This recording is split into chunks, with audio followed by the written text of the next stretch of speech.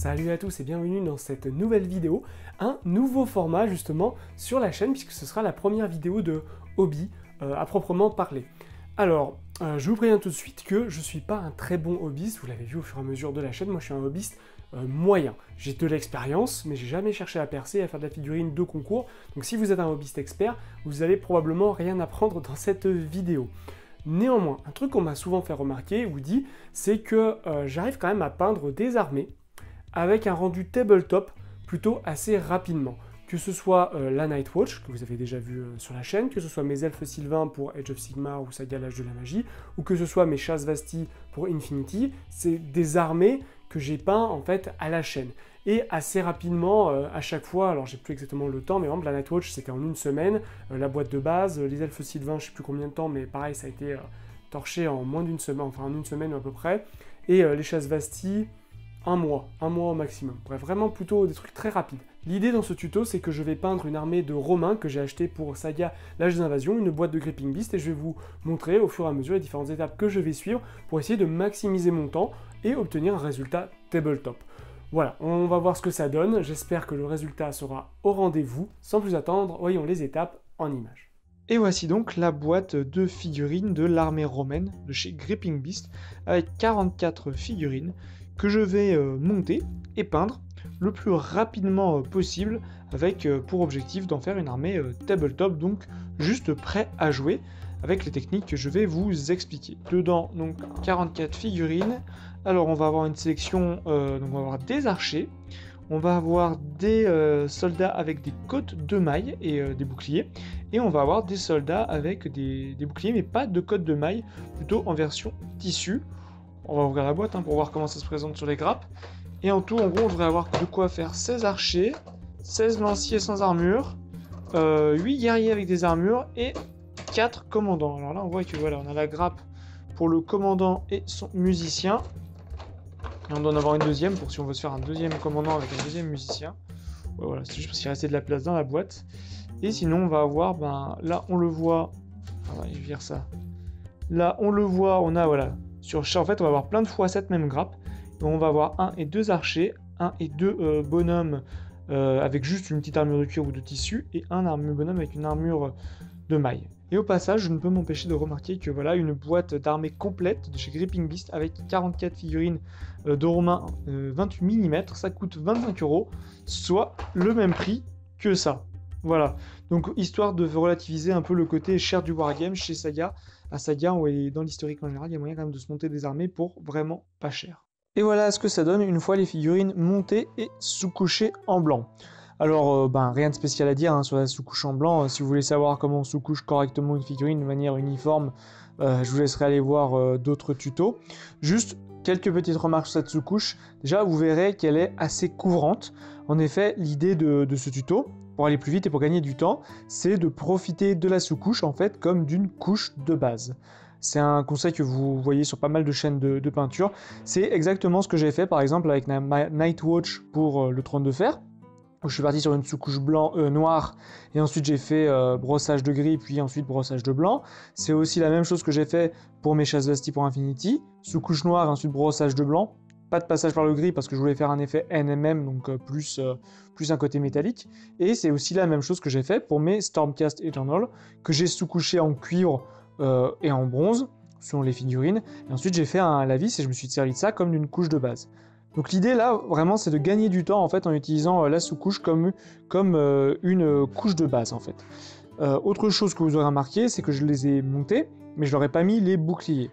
Alors ça, bien sûr, c'est tout simplement parce que si je leur mets les boucliers, ben, ça va me gêner ensuite euh, pour la peinture. Euh, c'est plus simple de peindre les boucliers à part. Et la deuxième chose que vous allez également remarquer, c'est que je ne les ai pas collés sur leur socle pour le moment. Là encore pour gagner du temps, parce qu'en fait, je vais les coller sur des socles en plastique vert. Et l'idée, c'est que je vais leur faire un stocklage euh, à base d'herbe et un peu de neige. Et donc, en fait, ça va m'économiser l'étape de la peinture en verre du socle.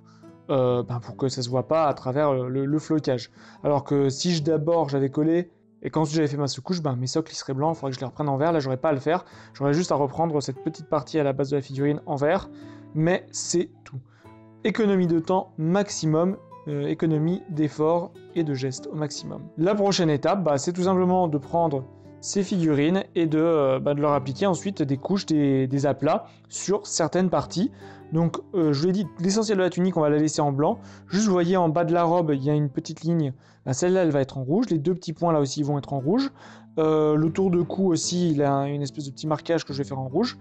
pourquoi le rouge? Parce qu'en fait, l'idée, quand on peint avec très peu de couleurs, bah, c'est que ce soit flashy en fait. Tout simplement, le rouge, ça se détache super bien du blanc. Euh, c'est un schéma assez euh, classique. Tout comme avec ma Nightwatch, ben, j'ai mis du bleu pour que ça se détache du noir. Là, je mets du rouge pour que ça se détache du blanc. de toute façon, c'est historique. Hein, les Romains, ils étaient en blanc et rouge euh, pour certains. les cuirs, bah, ils seront juste en marron. Et il y aura un peu de métallique sur le casque et sur la pointe de la lance. Et la rampe de la lance, elle sera juste marron. Et au niveau de leurs bottes, je sais pas si vous voyez bien là, mais en gros, il y a euh, le haut du pantalon et le bas de la botte, ils seront en marron, et le milieu, je vais le laisser en blanc. Et quand je vais passer à un lavis, puisque l'idée après, c'est que tout ce blanc, moi, je vais le rehausser d'un lavis euh, Earthshade, et bah à ce moment-là, ça va souligner un peu les, détails. Voilà, je vous retrouve après, du coup, ces quelques aplats qui n'auront rien de, rien de spécial, hein, c'est juste appliquer quelques couleurs, et ensuite, on se retrouvera pour l'étape suivante du lavis. Et donc voilà à quoi ressemblent nos petits soldats une fois qu'on leur a appliqué les couleurs de base. Alors je les ai appliqués dans un certain ordre. On commence par les euh, éléments les plus difficilement accessibles de la figurine, à savoir ici donc le visage euh, et les mains. Ensuite, je vais appliquer le rouge qui euh, fait les bordures en fait de la, veste, puisque ben, ça venait par-dessus, et puis comme ça, si je débordais avec la peau, je pouvais reprendre avec le rouge. Et en dernier, on est venu appliquer le marron de la ceinture, en fait, qui vient se superposer aux autres éléments de la figurine. Et là, on voit que juste avec ces quatre couleurs, euh, puisqu'il y a en dernier le métallique, on a une figurine qui est à mon sens euh, assez lisible, puisqu'on a le casque, le visage, ensuite on a son vêtement avec quelques détails en rouge, on voit bien qu'on a la ceinture, à nouveau le vêtement euh, principal. Le dessus du pantalon, je suis venu le faire en marron. Ensuite, on a des espèces de lanières de cuir autour de ces bottes qui sont en blanc et qui viendront se teinter avec le lavis. J'en parlerai juste après. Et enfin, la chaussure. Et bien sûr, il y a le métallique, donc pour les parties métalliques, à savoir le casque et le bout de la lance. Euh, il y a juste pour le marron j'ai fait euh, deux couches successives histoire d'être un peu couvrant. Et en fait, une fois qu'on a fait ces couches de base en aplat, l'idée c'est d'appliquer un lavis comme un gros bourrin, chose que tous les bons peintres vous déconseilleront fortement si vous voulez faire une figurine euh, joliment détaillée. Mais on va dire que pour du rendu tabletop en mode speed painting, bah, moi je trouve que ça va très bien. j'ai appliqué un Agrax Offshed sur toute la figurine tout simplement avec un assez gros pinceau, je vais vous montrer ça après. Parce que le Agrax Offset, ce qui est bien, c'est que le métallique va venir le vieillir. Sur la peau, ben, ça va venir creuser un peu les, détails. Sur le blanc, ça passe assez bien aussi pour faire un vêtement un peu plus sali, un peu plus réaliste. Hein. Un vêtement, en plus à cette époque-là, je pense qu'il restait pas blanc-blanc très longtemps. Et euh, pareil, ça se marie bien avec le rouge. Et en plus, ça va venir aussi souligner les détails. Je sais pas si vous voyez sur leur espèce de lanière qu'ils ont euh, aux jambes. Et, voilà, et venir souligner les détails. Donc euh, voilà, et une fois que j'ai fait ça, pour moi la figurine, bah, elle est finie, il n'y a plus qu'à faire son bouclier et son socle, et c'est bon, elle sera prête pour le jeu. Donc vous voyez, on minimise les étapes, on minimise les gestes, et on va au plus simple, au plus rapide pour un résultat tabletop. Je vous détaille rapidement les couleurs si ça vous intéresse. Au niveau euh, de la peau, j'ai utilisé ça, mais n'importe quelle couleur de peau irait bien, Cadian Flash Tone. Au niveau du rouge, j'ai pris ça, donc un rouge euh, assez foncé pour faire un truc un peu désaturé. Je trouve que les couleurs saturées au niveau des figurines historiques, ça passe pas super bien. Ensuite, le marron, on, bon, n'importe quel marron, là c'est Termat, donc rien à voir avec du cuir, mais de chez Prince Auguste. Bon, c'est mon marron à tout faire en fait, après je l'éclaircis ou je l'assombris selon ce que je veux faire et euh, base Iron Warrior, un métallique, quoi. Un métallique assez, pareil, assez sombre. L'idée, c'est de faire du assez désaturé. Et ensuite, bien sûr, le El Famoso Agrax Surfshed qu'on applique à la truelle. Donc quand je vous dis qu'on applique à la truelle, il y, a vraiment un peu de ça. Vous allez voir, je prends un pinceau assez gros quand même, là j'ai aucune idée de... Donc on vient badigeonner en fait toute sa figurine, mais l'idée c'est qu'on va essayer d'éviter qu'en fait il y en ait trop, euh, il y en a une trop grosse couche quand même, histoire qui, qui s'accumule. Euh, là, vous voyez, par exemple, je trouve que sur le blanc, il y en a pas mal. Je vais venir enlever un peu ce qu'il peut y avoir sur mon pinceau. Et je vais euh, venir voilà, étendre cette peinture un peu, plus, plus sur toute la figurine. Voilà. Je fais ça un peu comme un bourrin. Hein. L'idée, comme je vous l'aurais compris, c'est de voilà, d'avoir un rendu global, pas d'être dans la finesse. Voilà. On essaye de faire quand même que ça s'accumule plus possible, si possible dans les creux et pas trop euh, sur le plat. En fait, ce qu'il faut surtout éviter, c'est que sur le plat, sur les euh, surfaces planes, style bah, les, espèces de drapés, vous ayez des bulles ou des grosses accumulations qui vont faire des taches après en séchant. Voilà, c'est la seule chose qu'il faut éviter. Je fais pas trop la hampe de la lance parce que la hampe de la lance, euh, à mon avis, à mon sens, elle n'a pas besoin d'être euh, assombrie. En plus, ça créera une distinction entre le, cuir euh, de la ceinture qui lui a reçu sa couche de Agrax et pas la lance. Et voilà. Là, je tire encore un peu, histoire d'éviter que ça fasse trop, trop épais. Et voilà, donc là, ma figurine, elle a reçu sa couche de Agrax Surfshade. Et euh, pour moi, elle s'est séchée. Et vous verrez que bah, voilà, ça donne le résultat que vous avez vu tout à l'heure sur le rack. Donc c'est vraiment du à la chaîne, un peu à la truelle. Et puis voilà. Et voilà où on en est rendu une fois donc on a euh, peint, enfin en tout cas fait le lavis sur toutes les figurines. Bon là vous voyez en plus, je les ai soclés donc sur leur euh, petit socle vert. Bon c'est des socles que j'ai acheté chez Renella, je crois. ça devait être genre 5 euros les, les 40, un truc comme ça. Enfin c'était vraiment pas cher du tout. Vous voyez, je trouve que voilà, ça rend ça rentre très très bien. Donc j'ai pas encore collé les boucliers, je les ai d'abord collés sur les socles et je pense que je vais d'abord faire le flocage avant euh, d'attaquer, euh, avant de coller le bouclier, parce que le bouclier sinon il va me gêner pour mettre la colle un peu partout. Au niveau du flocage, euh, bah, on va pas s'embêter. Hein. Vous voyez, j'ai sorti du flocage donc comme ça, tout simplement c'est de l'herbe statique verte, et j'ai sorti du bicarbonate de soude qui va me permettre de faire un peu de la neige, histoire de mixer un peu les textures. Si vous voulez vraiment aller au plus peu plus rapide, vous prenez juste un type de flocage du style l'herbe qui est là-bas. Euh, voilà, si vous voulez vous prendre un peu plus la tête et faire un truc un peu plus, euh, un peu plus sympa en variant les couleurs, variant les textures, vous pouvez mixer les deux. Euh, voilà, juste précision, c'est le, le, blanc, c'est voilà, c'est du bicarbonate de soude, hein. de là, c'est la, la, marque là. Vous trouvez ça en supermarché, ça coûte que dalle. je trouve que c'est très intéressant pour faire de la neige. On va passer tout de suite donc au flocage. Donc c'est parti pour l'atelier flocage. Je vous le montre sur une figurine et puis après moi je vais le faire en masse euh, en enchaînant les étapes. Alors il vous faudra donc de la colle PVA. La colle à PVA c'est de la colle à bois en fait. Hein. Vous prenez n'importe quoi qui s'appelle colle à bois euh, et normalement ça devrait le faire. C'est le même principe actif. Donc vous en mettez, mélangez avec un peu d'eau. Enfin perso moi je mélange avec un peu d'eau histoire qu'elle soit un plus facile à travailler. Pas trop quand même parce qu'il faut que la première couche, il ben, faut quand même que ça accroche. Toc alors l'idée c'est d'abord que je vais mettre quelques touffes d'herbe à quelques endroits et ensuite je viendrai recouvrir avec de la neige. L'idée c'est de faire un peu comme, comme je sais pas si vous savez au printemps ou à l'automne, un peu comme en ce moment en fait, euh, quand vous commencez à avoir un peu de, un peu de neige mais pas trop, que ça recouvre pas toute l'herbe, que vous avez encore quelques touffes d'herbe qui transparaissent à travers. Donc je vais mettre quelques touffes d'herbe là, et là par exemple. Voilà. Euh, voilà. Donc je mets ça. Ensuite, lui, hop, il va aller prendre un petit bain ouais, non, je vais plutôt l'attraper et le déposer mon flocage par-dessus. Du coup, une fois que c'est déposé, je tapote en dessous du socle histoire de faire tomber le surplus. Voilà, donc là on voit que voilà, j'ai quelques endroits où j'ai des touffes d'herbe. Ensuite, ce qui va se passer, c'est que euh, je vais venir mettre un peu de ça, de ma mousse de lin, enfin de mon, pardon, de mon bicarbonate avec ma colle. Et alors là, par contre, il faut faire un mélange beaucoup plus, euh, genre diluer euh, tout ça. Alors, il va falloir que je rajoute pas mal de l'eau. Il faut vraiment que je rajoute de l'eau. Et rajoute de l'eau, on rajoute de l'eau, on rajoute de l'eau. Voici, il obtenir une espèce de pâte en fait qui ressemble à de la neige et qui endurcissant.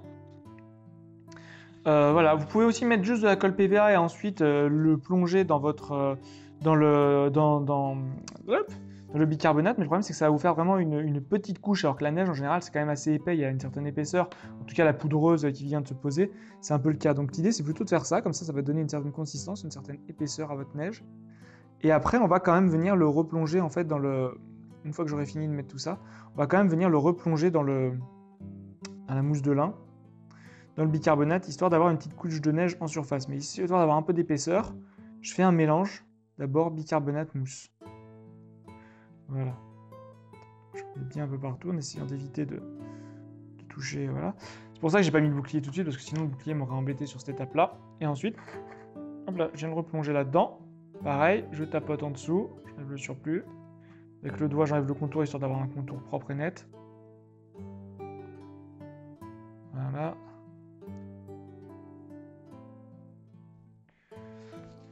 Et voilà donc le résultat final. Bon là c'est un peu dégueulasse, je prends un pinceau pour enlever. Pour les pinceaux, hein, pour faire ce genre d'étape, vous prenez des vieux pinceaux euh, de chez Action, hein, à 2 balles les, euh, les 5 ou ce genre de trucs. Vous savez pas pourrir vos pinceaux citadelle. Voilà, j'ai un petit socle neige assez sympathique. Voilà, j'ai quelques touffes d'herbe qui vont apporter un peu de texture, un peu de variété, je veux dire, dans, dans, la neige.